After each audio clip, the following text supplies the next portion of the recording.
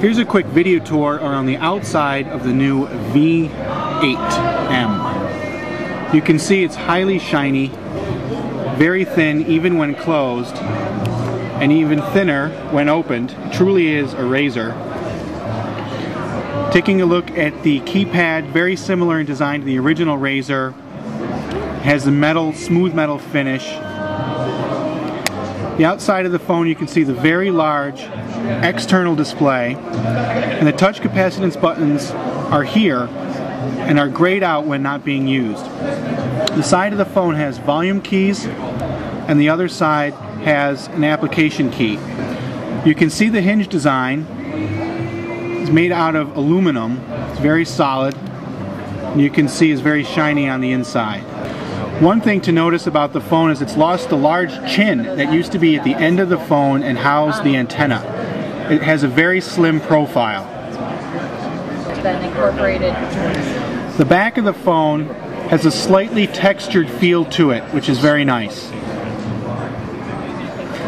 The V8 version does not have a micro SD slot. For easier PC connectivity, the Razr uses a USB 2.0 connector.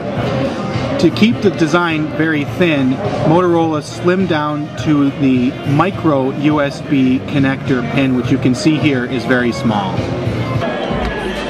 This is a walkthrough of the UI menu system on the Razr V9M.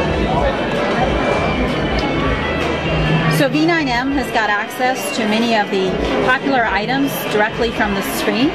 So by pressing the middle button here, I can go to my music options. I can read the memory card or choose to bypass that if I've already gone through my card. I can go through the songs.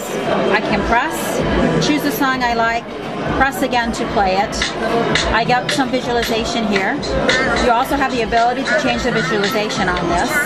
If you would like to forward through a song or through a menu item, you can just press the buttons. You get a nice haptic feel and you can go back and forth.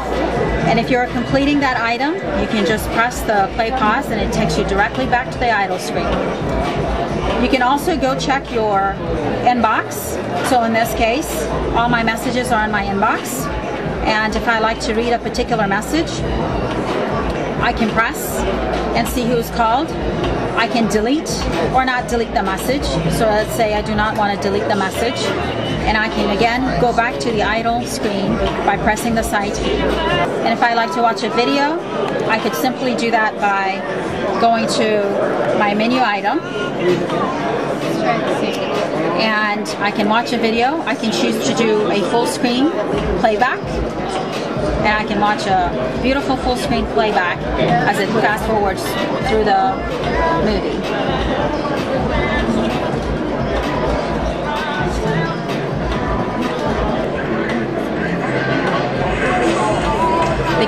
Is beautifully um, outlined, large, so that you can reach all the phones uh, buttons easily. Direct access to your camera and video.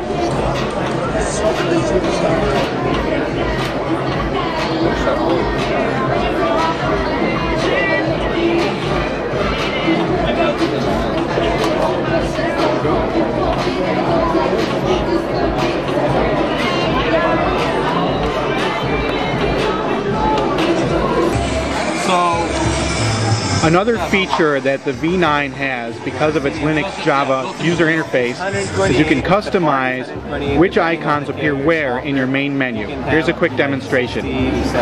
So once you've created your new folder on your main menu and you'd like to move it to a place that you can access it more easily, you can highlight the icon and go to options and select the reorder key.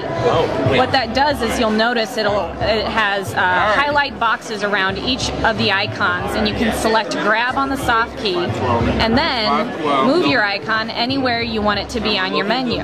Once you've reached that location, the top left say of the main menu, you press insert on the left soft key, go back and now it's in the top left location as you selected. There'll be another version.